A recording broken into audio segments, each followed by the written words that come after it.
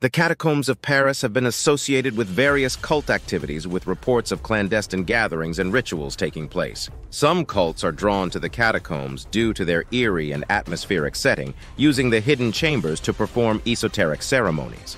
The catacombs' extensive network of tunnels provides a secluded and secretive environment for cult members to engage in their practices. Cult activity in the catacombs often involves elements of mysticism, occultism, and alternative spirituality, attracting individuals who are seeking a sense of mystery.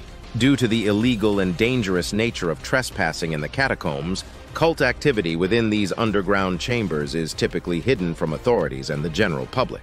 While the extent and nature of cult activity in the catacombs remain mostly undocumented, urban legends and rumors continue to circulate.